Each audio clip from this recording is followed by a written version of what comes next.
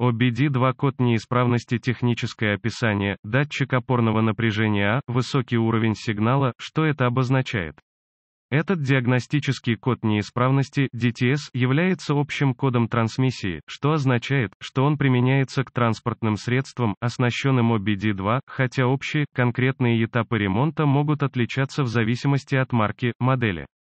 При столкновении с сохраненным кодом P0643 неприятности, по опыту знаю, что модуль управления силовым агрегатом PSM обнаружил состояние напряжения высокого опорного для конкретного датчика, который был дан ярлык А. Я помню, что рассматриваемый датчик всегда был связан с автоматической коробкой передач, раздаточной коробкой или передним дифференциалом.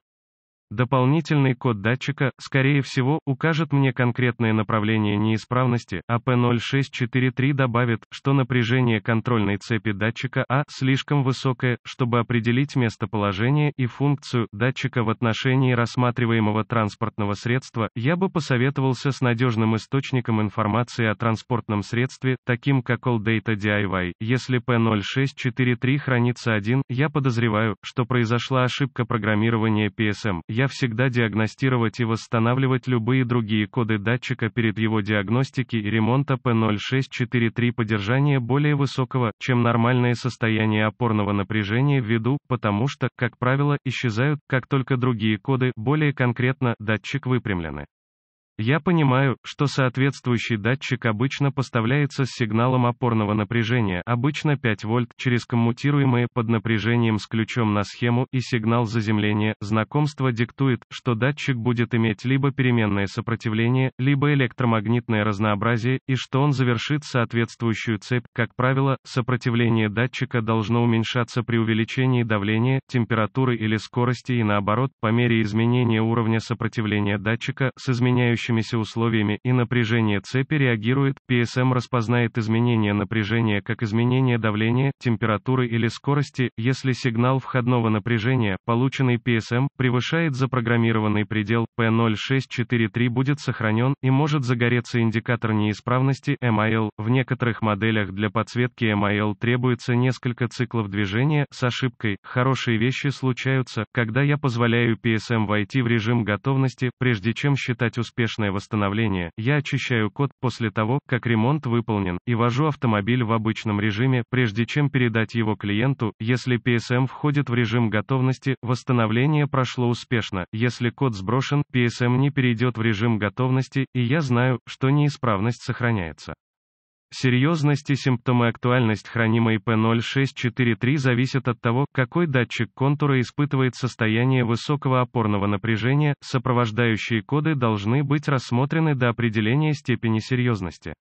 Симптомы кода P0643 могут включать в себя отложенное или нет включение передачи, отказ передачи переключаться между спортивным и экономическим режимами, неисправности переключения передач, невозможность переключения коробки передач между полным и двухколесным режимами, невозможность переключения раздаточной коробки с низкой на высокую передачу, отсутствие зацепления переднего дифференциала, отсутствие зацепления передней ступицы, неустойчивый или неработающий спидометр, одометр, Причины, возможные причины для этого кода двигателя включают в себя замкнутые на напряжение цепи или разъемы, плохой датчик, ошибка программирования PSM или PSM, диагностические и ремонтные процедуры. Прежде чем приступить к диагностике P0643, мне бы хотелось иметь диагностический сканер, цифровой вольт, ометр, DVOM и надежный источник информации о транспортном средстве, например, AllData DIY. Я также обнаружил, что портативный осциллограф может помочь в этом диагнозе.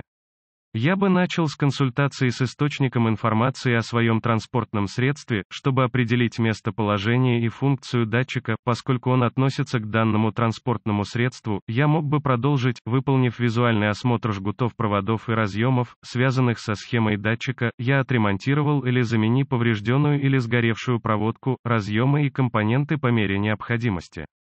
Затем я хотел бы подключить сканер к диагностическому порту автомобиля и получить все сохраненные коды неисправностей и данные стоп-кадра. Я записываю коды вместе с порядком их хранения и любыми связанными данными стоп-кадра, так как эта информация может оказаться полезной, если код окажется прерывистым. Теперь я хотел бы очистить коды и протестировать автомобиль, чтобы убедиться, что он сброшен.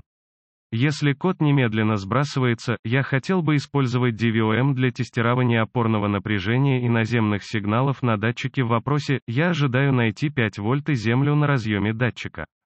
Скорее всего, я продолжу тестировать сопротивление и уровни непрерывности датчика. Если на разъеме датчика присутствуют сигналы напряжения и заземления, я могу получить спецификации из моего источника информации о транспортном средстве и сравнить мои фактические результаты с ними. Датчики, которые не соответствуют этим спецификациям, необходимо заменить. Я всегда отключаю все связанные контроллеры от системных цепей до тестирования сопротивления с помощью DVOM, потому что я знаю, что невыполнение этого может привести к повреждению PSM. Если опорное напряжение является высоким на датчике, используйте DVOM, чтобы проверить сопротивление цепи и непрерывность между датчиком и RSMPR и необходимости замените замкнутые цепи. Если рассматриваемый датчик электромагнитный с возвратно-поступательным сигналом, используйте осциллограф для мониторинга текущих данных, сосредоточьтесь на шипах, глюках и максимальных кругооборотах. Дополнительные диагностические заметки, этот тип кода обычно предоставляется в качестве поддержки более конкретного кода, сохраненный код P0643 обычно связан с трансмиссией.